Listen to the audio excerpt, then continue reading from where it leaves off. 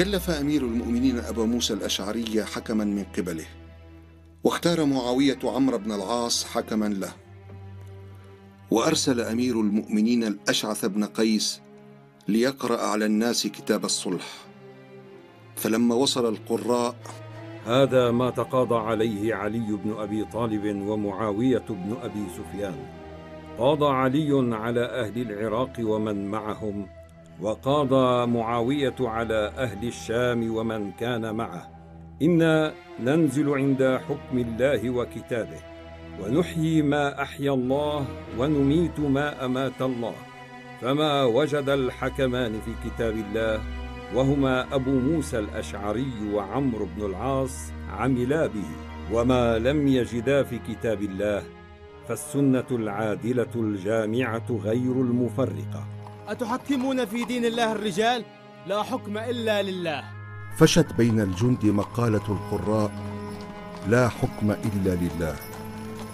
فلما سمع أمير المؤمنين لما سمع أمير المؤمنين قول وص...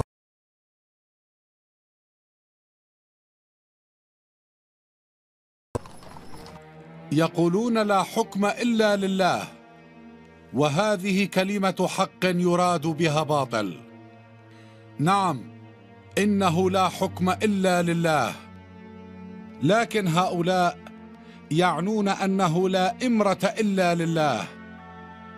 ألا فاعلموا أنه لا بد للناس من أمير بر أو فاجر يعمل في إمرته المؤمن ويستمتع فيها الكافر ويبلغ الله فيها الأجل ويجمع به الفيء. ويقاتل به العدو وتأمن به السبل ويؤخذ به بالضعيف من القوي حتى يستريح به بر ويستراح من فاجر. قبل دخولنا الكوفة انعزل قسم من جيشنا ممن اعترض على قبول أمير المؤمنين التحكيم مغاضبين له وانحازوا إلى مكان يسمى حروراء أما بقية الجيش فدخل الكوفة. وعندما عاد أمير المؤمنين الكوفة كتب إلى الأمصار يشرح لهم ما حدث. أكمل يا ابن أبي رافع الكتاب الذي بدأنا به. كي نرسله إلى الأمصار. ليعلم المسلمون حقيقة ما جرى بيننا وبين أهل الشام. بعد الحمد لله والصلاة على نبيه اكتب. كان بدء أمرنا أن التقينا والقوم من أهل الشام والظاهر أن ربنا واحد ونبينا واحد ودعوتنا في الإسلام واحدة. لا نستزيدهم في الإيمان بالله والتصديق برسوله صلى الله عليه وسلم ولا يستزيدوننا.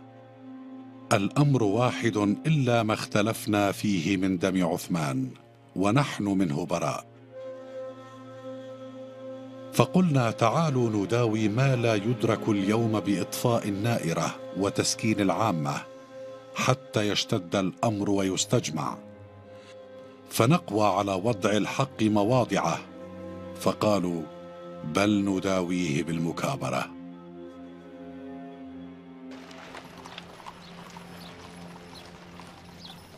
يا ابن عباس انطلق إلى هؤلاء القوم الذين اعتزلونا في حروراء فحاورهم وجادلهم بالحسنى. عسى الله أن يهدي قلوبهم إلى الحق على يديك سأفعل يا أمير المؤمنين. يا يهودي هذه الدرع درعي. لم أبعها ولم أهبها لأحد. فكيف وصلت إليك؟ الدرع في حوزتي وهي ملك يدي. إذا هي لي. لنحتكم إلى القاضي شريح إذا هيا.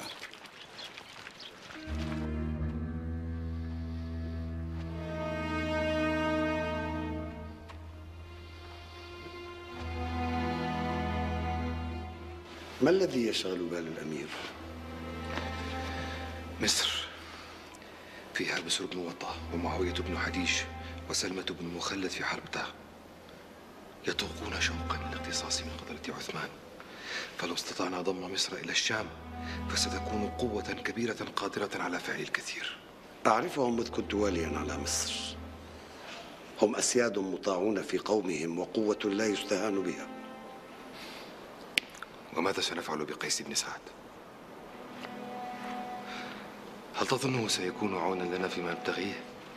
ولكنه والي علي على مصر وهل يكره علي الاقتصاص من قتلة عثمان؟ لا والله أفنى جيش طلحة والزبير القتلة من أهل البصرة. فهل عاتبهم على ذلك أو اعترض؟ لا. إن اقتصصنا منهم في مصر نريحه من ذلك. ولا يبقى إلا قتلة أهل الكوفة. يا عبد الله بن وهب الراسبي ويا شريح بن أوفى ويا حرقوس بن زهير. هاتوا ما عندكم. لما نقمتم على أصحاب رسول الله صلى الله عليه وآله وسلم وعلى ابن عمه؟ لثلاث. الأولى أنه حكم الرجال في أمر الله وقال الله تعالى إن الحكم إلا لله. فما شأن الرجال والحكم؟ هذه واحدة. فما الثانية؟ أنه قاتل ولم يسبي ولم يغنم. فإن كانوا كفارا فقد حل سبيهم ولئن كانوا مؤمنين ما حل سبيهم ولا قتلهم. وهذه الثانية. فما الثالثة؟ استجاب لأهل الشام يوم صلحه مع معاوية فمح عن نفسه اسم أمير المؤمنين. فإن لم يكن أمير المؤمنين فهو أمير الكافرين. عندكم شيء غير هذا؟ حسبنا هذا. إن قرأت عليكم من كتاب الله عز وجل وسنة نبيه صلى الله عليه وآله وسلم ما يرد قولكم. أترجعون؟ نعم. أما قولكم حكم الرجال في أمر الله فإني أقرأ عليكم من كتاب الله عز وجل أن قد صير الله حكمه إلى الرجال في ثمن ربع درهم وأمر الله تعالى أن يحكموا فيه. أي. في قوله تعالى يا أيها الذين آمنوا لا تقتلوا الصيد وأنتم حرم ومن قتله منكم متعمدا فجزاء مثل ما قتل من النعم يحكم به ذوى عدل منكم. وكان من حكم الله في الأمر تحكيم الرجال العدول. ناشدتكم بالله. أحكم الرجال في إصلاح ذات البين وحقن دماء المسلمين أولى أم حكمهم في أرنب؟ بل في إصلاح ذات البين. وفي المرأة وزوجها يقول تعالى وإن خفتم شقاق بينهما فابعثوا حكما من أهله وحكما من أهلها. نشدتكم الله. أحكم الرجال في إصلاح ذات البين وحقن دماء المسلمين أولى أم حكمهم في بضع امرأة؟ أما قولكم قاتل ولم يسبي ولم يغنم أو تستحلون سبي أمكم عائشة يوم الجمل؟ أتستحلون منها ما تستحلون من غيرها وهي أمكم؟ فإن قلتم نستحل منها ما نستحل من غيرها فقد كفرتم. وإن قلتم ليست بأمنا فقد كفرتم. وقد قال تعالى النبي أولى بالمؤمنين من أنفسهم وأزواجه أمهاتهم. فأنتم بضلالتين. ائتوا بمخرج منهما. هل خرجت أنا من هذه؟ نعم. والثالثة؟ أما أنه محى نفسه من أمير المؤمنين فأنا آتيكم بما ترضون ألا تذكرون يوم صالح الرسول صلى الله عليه وآله وسلم المشركين في الحديبية؟ ألم يقل اكتب يا علي؟ هذا ما صالح عليه محمد رسول الله فقالوا لو علمنا أنك رسول الله لما قاتلناك إنما اكتب اسمك واسم أبيك فقال امحو يا علي امحو يا علي واكتب هذا ما صالح عليه محمد بن عبد الله أليس هذا ما حدث؟ والله لرسول الله صلى الله عليه وآله وسلم خير من علي وقد محى نفسه وما محوه نفسه محوا من النبوة أهناك شيء آخر تأخذونه على أمير المؤمنين؟ أيها الناس اتقوا الله في أنفسكم وثوبوا إلى رشدكم. وعودوا إلى الحق. فإن من عرف الحق وحاد عنه خاب وخسر. خاب وخسر. خاب وخسر. فاستجاب كثير من الخوارج لابن عباس معلنين ولاءهم لأمير المؤمنين. لا يكفي قولك يا أمير المؤمنين إنني أحتاج إلى بينة. فإن لم تأتني ببينة حكمت بالدرع إلى اليهودي. لا بينة لدي أيها القاضي. ألست أنت من عينته قاضيا وتقدر على عزله؟ بلى. سبحان الله. كنت قادرا على استرداد درعك مني عنوة. إلا أنك قاضيتني إلى قاضيك وقاضيك قضى عليك فتركته ولم تعزله. أشهد أن هذا لحق. هذا ديننا وهذا ما يأمرنا به. أشهد أن لا إله إلا الله وأشهد أن محمد رسول الله وأن الدرع درعك. كنت راكبا يا أمير المؤمنين على جملك الأورق وأنت متجه إلى صفين فوقعت منك درعك ليلا فرأيتها وأخذتها لنفسي.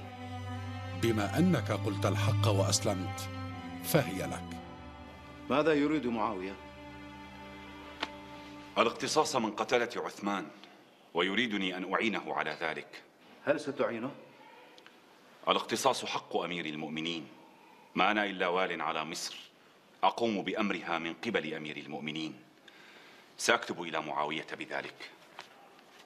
يا أمير المؤمنين سافر أبي مع نفر من الرجال فعادوا ولم يعد أبي. وعندما سألتهم عنه قالوا مات في الطريق ودفناه. رحمه الله. سألتهم عن ماله فقالوا ما ترك شيئا. وأنا أعلم أنه سافر ومعه مال كثير. فشكوتهم إلى شريح القاضي فاستقدمهم واستحلفهم فحلفوا وخلى سبيلهم. فهل أنصفتني يا أمير المؤمنين؟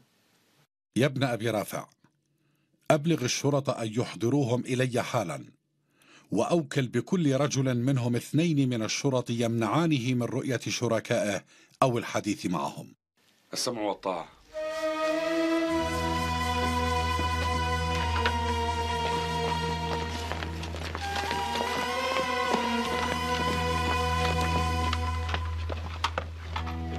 أخبرني عن أبي هذا الشاب أي يوم خرج معكم؟ خرجنا في أول شعبان يوم الأربعاء أين نزلتم؟ في دار صديق لي في البصرة متى مات والده؟ ال- العصر من غسله ومن صلى عليه؟ ومن دفنه وأين دفن؟ نحن غسلناه وصلينا عليه ودفناه في بستان أول البصرة ماذا أكلتم في دار صديقك؟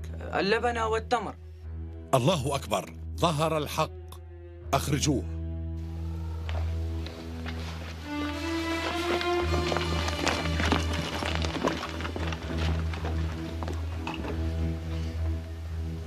مات مات والده عند الظهيرة ودفناه قرب الدار التي نزلنا بها.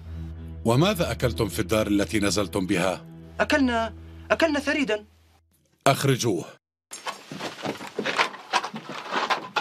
ماذا أجابك قيس بن سعد؟ لم يوافق ولم يخالف. ترك الأمر معلقا. لا يصلح الوضع هكذا. إن إبقاء قيس واليا على مصر ليس في مصلحتنا. سننشر بين الجند ما سأقوله لك عن قيس.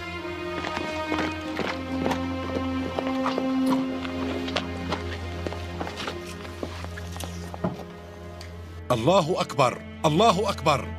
ظهر الحق.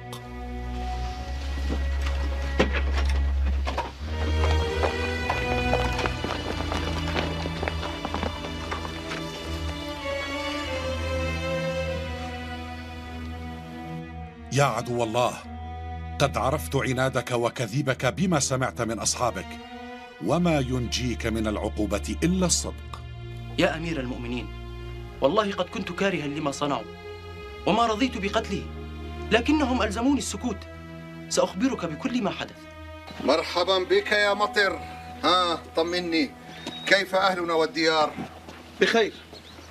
ظننت أنني أقوى على فراقك وأن أهلي وأخواني سينسونني إياك. مرحبا بك يا مطر.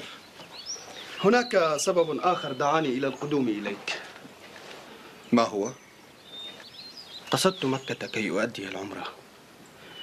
فسمعت كلاما يتناقله الناس ورأيته يتردد هنا فرأيت أن أخبرك به. قل.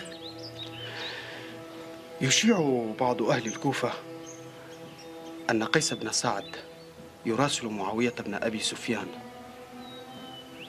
وأن اتفاقا يتم بينهما. لا أصدق. قيس بن سعد لا يعرف الخيانة والغدر. إن هي إلا إشاعات تتناقلها الألسن. وما أرى معاوية ببعيد عنها. هذا كلام غير صحيح. إنما أنقل لأمير المؤمنين ما يتداوله الناس في الخفاء. وأرجو من الله أن يكون كذبا.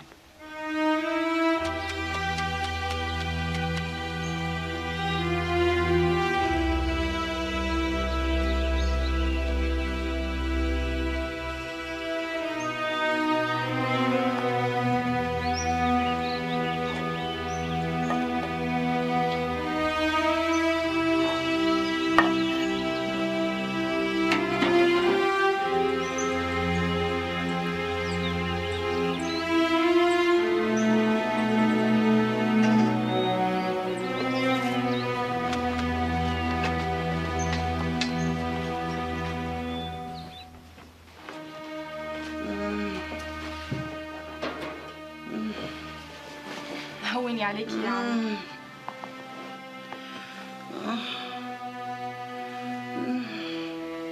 سأرسل في طلب القعقاع كي يأتي حالا. آه لا. فلديه من الأمور ما يشغله لا أريد أن أكدر عليه. فما زلت أستطيع تحمل الألم. لكن آلامك كثرت في الآونة الأخيرة. الحمد لله على كل حال.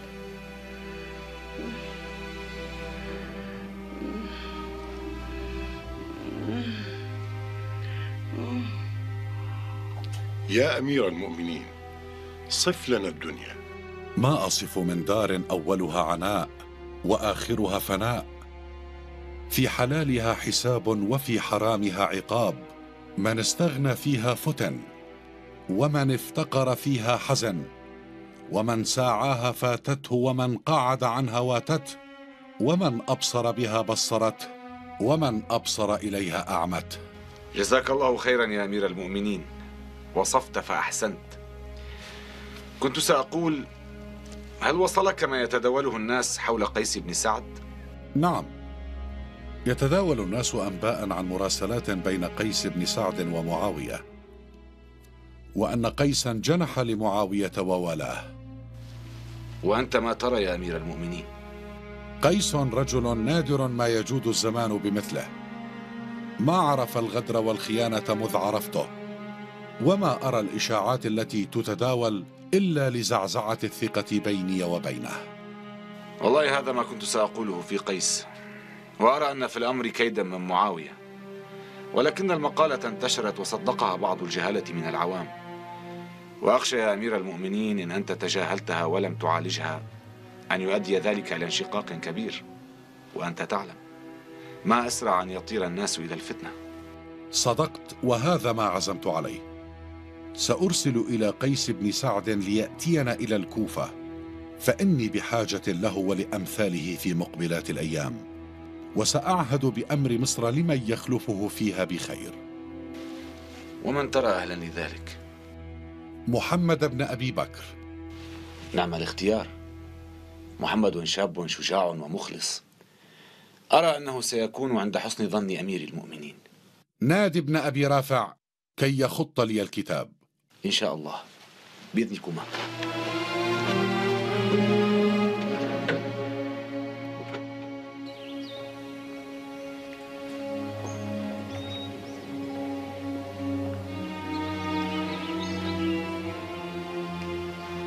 أرى يا أمير المؤمنين كأنك عزلت قيس بن سعد عن مصر مكرها. نعم.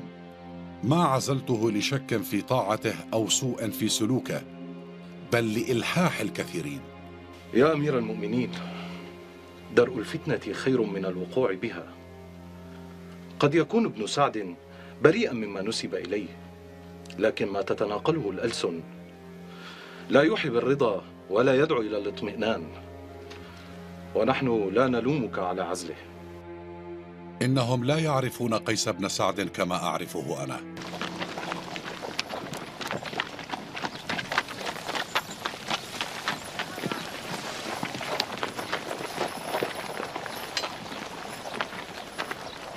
لما أنت هنا؟ ما بك؟ يشيعون أن قيس بن سعد يراسل معاوية وقد صار يمالئه. لا. ما جاء عن قيس إن هو إلا كذبة. والله وحده يعلم كيف ولماذا انتشرت. وحرقوس بن زهير والراسبي يزعمان أن أمير المؤمنين قد تراجع عن التحكيم واعتبره خطيئة تاب عنها. خطيئة. أيها الناس سأنفذ أبا موسى الأشعري عبد الله بن قيس حكما من قبلي يحكم بكتاب الله. لا تفعل إن الحكم إلا لله. سأنفذه. فقد كتبنا بيننا وبين القوم عهودا لا يجوز الإخلال بها. وإلا عد غدرا ونقضا للأيمان والعهود. قال الله تعالى وأوفوا بعهد الله إذا عاهدتم ولا تنقضوا الأيمان بعد توكيدها. وقد جعلتم الله عليكم كفيلا. لسنا على رأيك ونبرأ إلى الله مما تفعل. لن ألزمكم أمرا لا ترونه لكن اعلموا أن لكم عندنا ثلاثة. لا نمنعكم صلاة في هذا المسجد ولا نمنعكم نصيبكم من هذا الفيء ولا نمنعكم نصيبكم من هذا الفيء ما كانت أياديكم مع أيادينا. ولا نقاتلكم حتى تقاتلونا. لقد كفرت يا علي. فاشهد على نفسك بالكفر وتب إلى الله مما صنعت. ويحكم. أبعد إيماني بالله ورسوله وجهادي مع رسول الله صلى الله عليه وسلم. أشهد على نفسي بالكفر. لقد ضللت إذا وما أنا من المهتدين. أرسلوا في طلب أبي موسى الأشعري.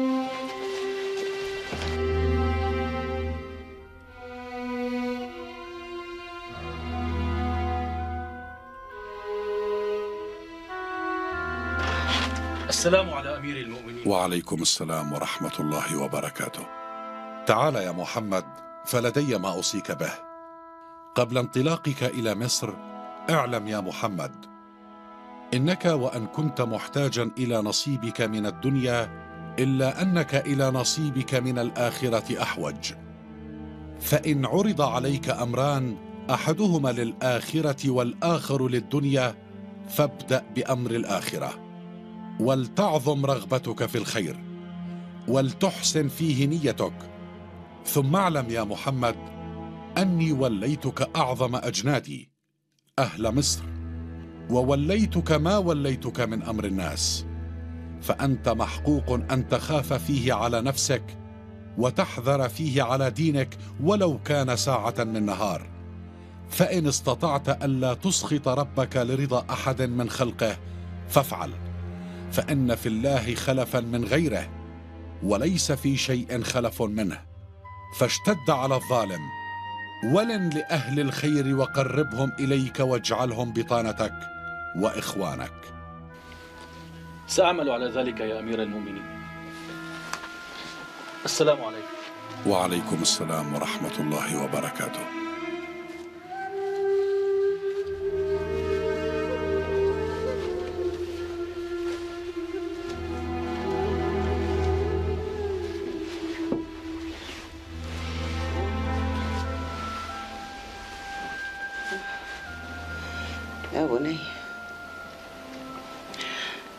متى تنجز وعدك لي.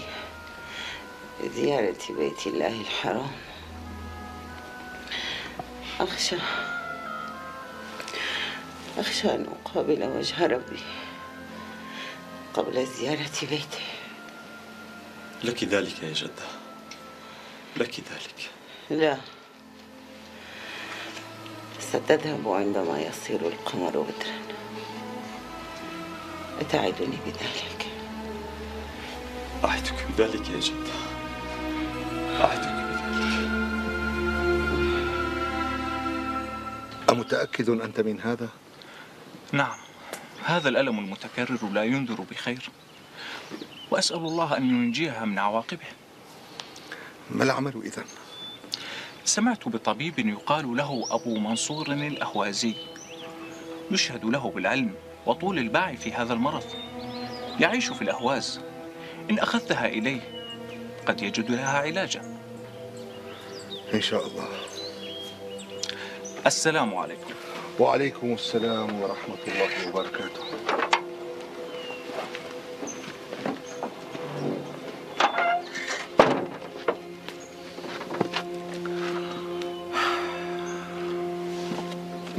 اقرأ وثيقة التحكيم التي اتفقنا عليها. كي تعمل بها وتعرف حدودها وعلى ما نصت. بسم الله الرحمن الرحيم. هذا ما تقاضى عليه علي بن أبي طالب ومعاوية بن أبي سفيان وشيعتهما. فيما تراضيا فيه من الحكم بكتاب الله وسنة نبيه صلى الله عليه وسلم. صلى الله عليه وسلم. قضية علي على أهل العراق شاهدهم وغائبهم. وقضية معاوية على أهل الشام شاهدهم وغائبهم. إنا تراضينا أن نقف عند حكم القرآن فيما يحكم. من فاتحته إلى خاتمته نحيي ما أحيا. ونميت ما أمات. على ذلك تقاضينا وبه تراضينا. وإن عليا وشيعته رضوا بعبد الله بن قيس ناظرا وحاكما. ورضي معاوية وشيعته بعمرو بن العاص ناظرا وحاكما. على أن عليا ومعاوية أخذا على عبد الله بن قيس وعمرو بن العاص عهد الله وميثاقه وذمته وذمة رسوله صلى الله عليه وسلم. صلى الله عليه وسلم. يتخذا القرآن إماما. ولا يعدوا به إلى غيره في الحكم بما وجداه فيه مسطورا. وما لم يجدا في الكتاب رداه إلى سنة رسول الله صلى الله عليه وسلم الجامعة. صلى الله عليه وسلم. لا يتعمدان لها خلافا ولا يبغيان فيها شبهه وأخذ عبد الله بن قيس وعمرو بن العاص على علي ومعاوية عهد الله وميثاقه بالرضا بما حكما به مما في كتاب الله وسنة نبيه صلى الله عليه وسلم. صلى الله عليه وسلم. وليس لهما أن ينقضا ذلك. ولا يخالفاه إلى غيره. إذا مات أحد الحكمين قبل انقضاء الأجل المحدود في هذه القضية فلشيعته أن يولوا مكانه رجلا يرضون عدله. حررت القضية والمفاوضة بين الفريقين ورفع السلاح. كفى. أردت تذكيرك بما تقوله الوثيقة كي تعمل وفقها ولا تحيد عنها. اسمع يا ابن العاص. الناس كرهوا القتال وما زالوا يبكون موتاهم حتى الآن. فاحرص على الصلح والسلم بشروط مرضية. ولا تقطع بأمر فيه جهالة حتى تسألني.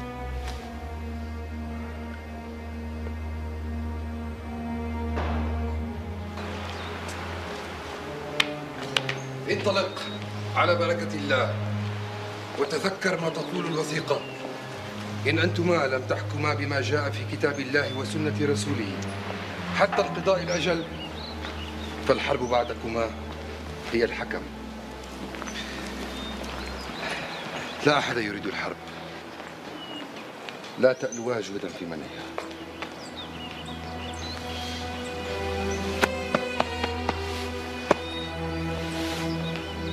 على بركة الله.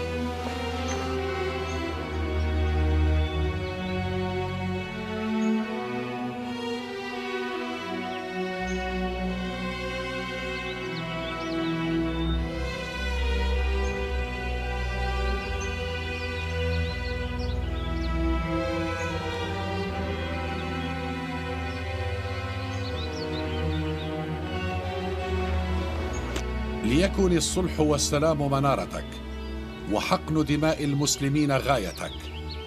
ما عرفتك إلا رجلا يخاف الله ويحرص على أرواح المسلمين. فاعمل على ذلك جهدك وليكن الله حليفك. انطلق على بركة الله.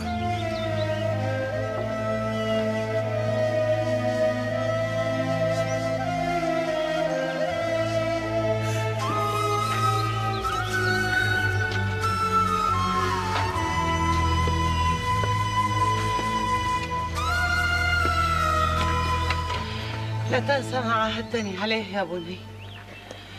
سأنطلق غدا إلى مكة بإذن الله.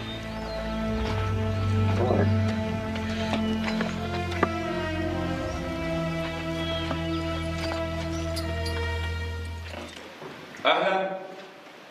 أهلا بابن أبي بكر. أهلا بأبي القاسم. الولاة المعزولون عادة يتضايقون من الولاة الجدد. أما أنا فأكن لك التقدير والإحترام وأخلصك نصحي. لست معزولا بل رغب أمير المؤمنين قربك وبقاءك عنده كي ينتفع بعلمك ورأيك. والله ما أكن إلا الحب والولاء لأمير المؤمنين وأعلم أنه ما عزلني عن ضغينة أو ريبة بل لكثرة إلحاح من حوله في عزلي. صدقت فهو لم يفقد ثقته بك يوما. اسمع يا أبا القاسم أنت جئت من عند أمير المؤمنين وليس عزله إياي بمانع أن أقدم النصح لك وله وأنا من هذا الأمر على بصيرة.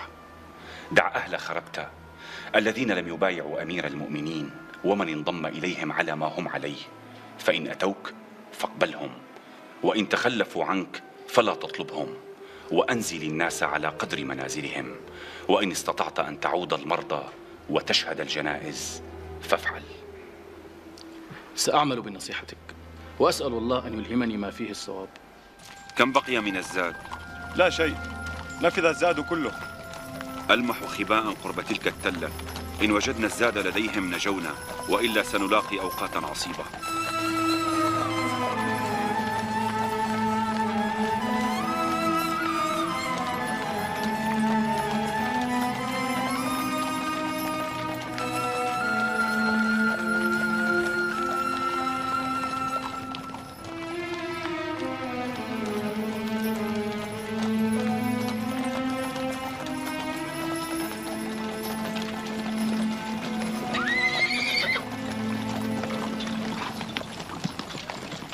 السلام عليكم ورحمة الله وبركاته. وعليكم السلام ورحمة الله وبركاته. سأنهر لهم ناقة. جهز الطعام للطهر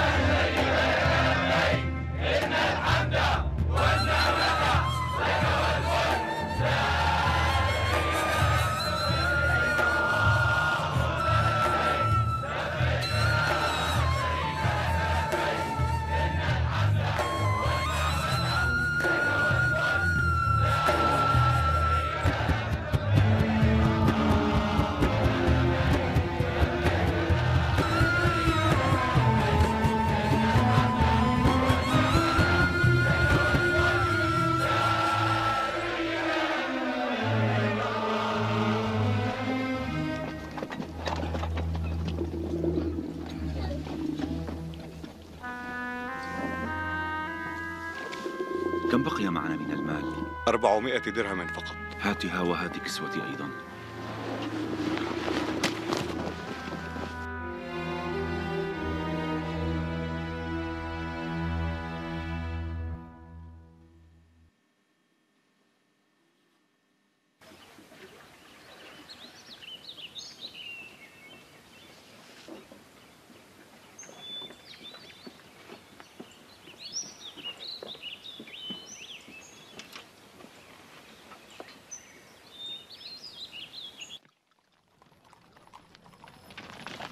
لله در هذا الرجل ما أكرمه. والله لو بقينا ما شاء لنا الله أن نبقى لما توقف عن نحر نوقه حتى يقضي على كل حلاله.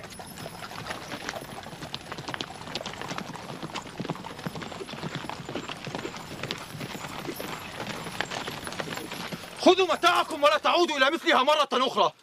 والله هذا كل ما نملك ونعلم أنه قليل لكن لا نملك غيره. ليس هذا ما يزعجني. ليس ما تركتم ولا كميته. لن آخذ منكم شيئا فخذوه. لا لن نأخذه.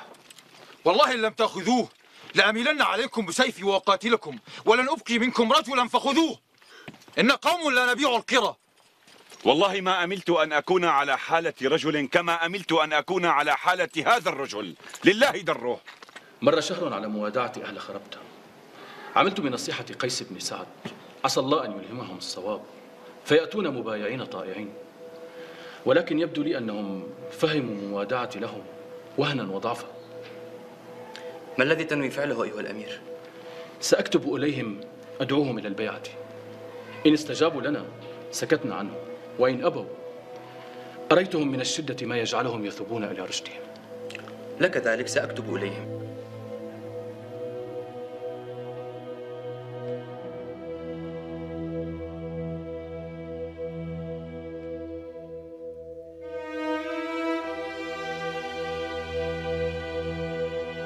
القعقاع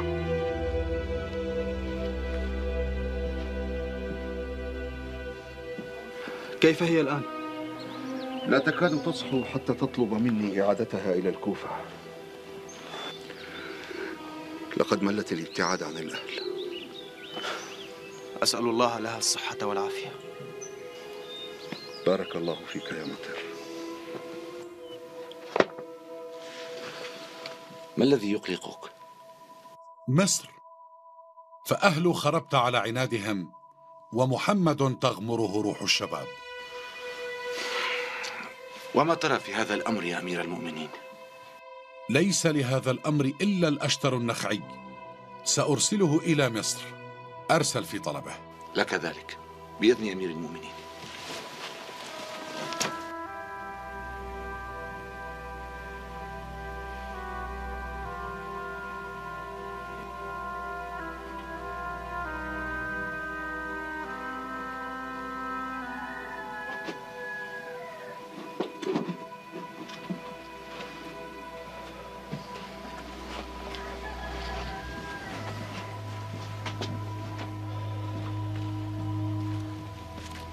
كيف هي الآن أيها الطبيب؟ حالها تزداد سوءا. أفعل ما بوسعي لكن الشفاء من عند الله. لا إله إلا الله. أيمكنني نقلها إلى الكوفة؟ إنها تلح علي في ذلك؟ لا فهي لا تحتمل مشاق السفر. سأزوره غدا لأطمئن عليها. جزيت خيرا.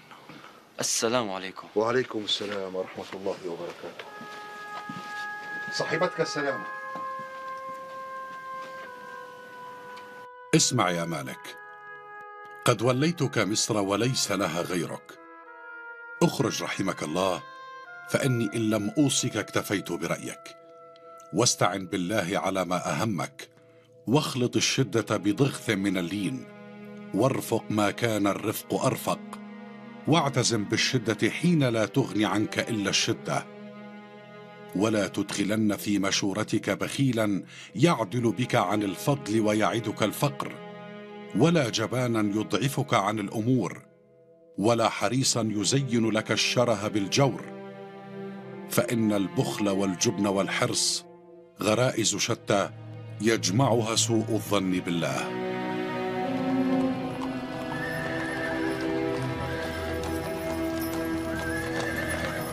انظر في أمور عمالك فاستعملهم اختبارا ولا تولهم محاباة واثره وليست تصلح الرعية إلا بصلاح الولاة ولا تصلح الولاة إلا باستقامة الرعية ويختارونه لكفاية ما غاب عنهم.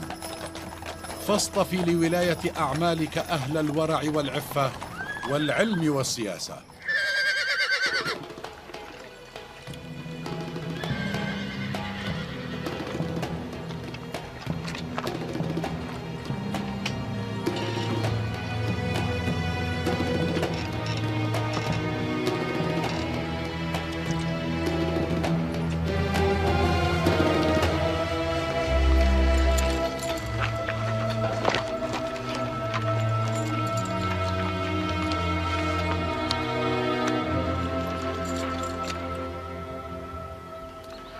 يا أبا موسى.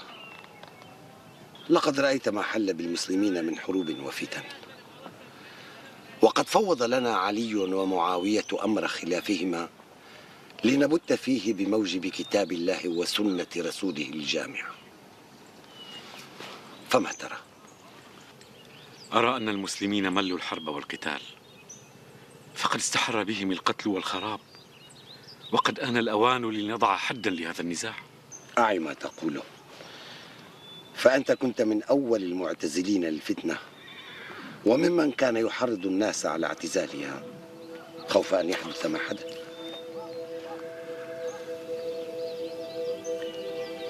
لنعد إلى الخلاف الذي اجتمعنا لأجله. أمير المؤمنين علي بن أبي طالب يرى التسكين والمبايعة أولا ثم يتم الاقتصاص من قتلة عثمان. أما معاوية فيرى أن يتم الاقتصاص من القتلة قبل المبايعة. وقد بين رأيه في ذلك مرارا وتكرارا أن سلموني قتلة عثمان أولا ثم أبايع عليا. فمحل النزاع إذن أي الأمرين يسبق الآخر؟ أرى أن معاوية محق في طلبه فهو ولي دم عثمان بحكم سنه ومركزه وقرابته. وإن لم يقتص من القتلة الآن ضاع دم عثمان.